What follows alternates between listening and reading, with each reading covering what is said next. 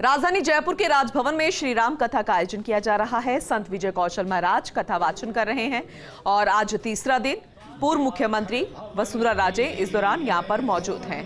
कथा वाचन के तीसरे दिन भक्तों की भीड़ भी उमड़ी है। राज्यपाल कलराज मिश्र के निर्देशन में कथा वाचन किया जा रहा है। कथा में पूर्व मुख्यमंत्री वसुंधरा राजे पहुँची हैं। तस्वीरें आपको दिखा रहे हैं जयपुर से।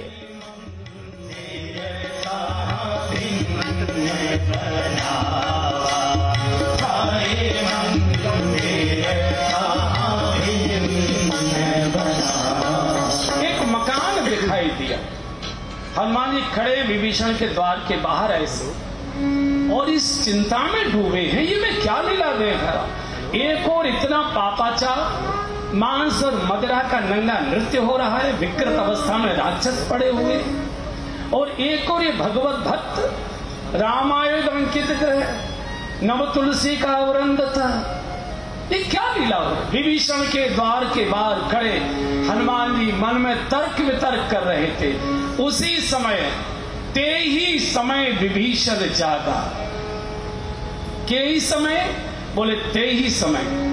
और जब तक श्री हनुमान जी विभीषण के द्वार पर नहीं आए थे, तब तक विभीषण सो रहा था। जागा कब? जागा तब जब साधु द्वार पर आकर खड़ा हो और जब तक हमारे जीवन के द्वार पर, घर के द्वार पर नहीं घर के द्वार पर तो साधु आते हैं। घर में टिकते भी हैं ड्राइंग रूम में बैठते भी हैं। कई बार कई साधु महात्मा अपने शिष्य के राजधानी जयपुर के राजभवन से देख रहे हैं जहाँ पर श्री राम कथा का आयोजन किया जा रहा है। संत विजय कौशल महाराज कथा वाचन कर रहे हैं और राज्यपाल कलराज मिश्र के नेतृत्व में दरअसल एक कथा वाचन हो रहा है। पूर्व मुख्यमंत्री वसुंधरा राजे इस कार्यक्रम में मौजूद है। इसके अलावा बीजेपी के पूर्व प्रदेश अध्यक्ष अशोक परनामी यहाँ पर मौजूद है। बीजेपी से सुमन शर्मा यहाँ पर मौजूद है। कलराज मिश्र, राज्यपाल खुद यहाँ पर मौजूद है। ममता, मंत्री ममता भूपेश यहाँ पर मौजूद है। इसके अलावा पूर्व मुख्यमंत्री वसुंधरा राजे भी यहाँ पर मौजूद है। तमाम अन्य दिग्गज इस कथा वाचन कार्यक्रम में पहुँचे हैं और पूर्व मुख्यमंत्री वसुंधरा राजे खुद इस कार्यक्रम का हिस्सा बनी है। जयपुर के राजभवन से। ये तस्वीरें आपको दिखा रहे हैं, जहाँ पर संत विजय कौशल महाराज पहुँचे हैं। कथा वाचन किया जा रहा है और आज तीसरा दिन है। ऐसे में तमाम दिग्गज तो पहुँचे ही हैं, लेकिन खासी संख्या में भक्तों की भीड़ यहाँ पर उमड़ी है। श्रद्धालु यहाँ पर पहुँचे हैं। पूर्व मुख्यमंत्री वसुंधरा राजे की तस्वीरें आप देख रहे हैं। साथ में अन्य दिग्गज भी यहाँ पर मौजूद हैं। खुद राज्यपाल कलराज मिश्र, मंत्री ममता भूपेश अशोक परनामे सुमन शर्मा और अन्य नेता भी यहाँ पर मौजूद है।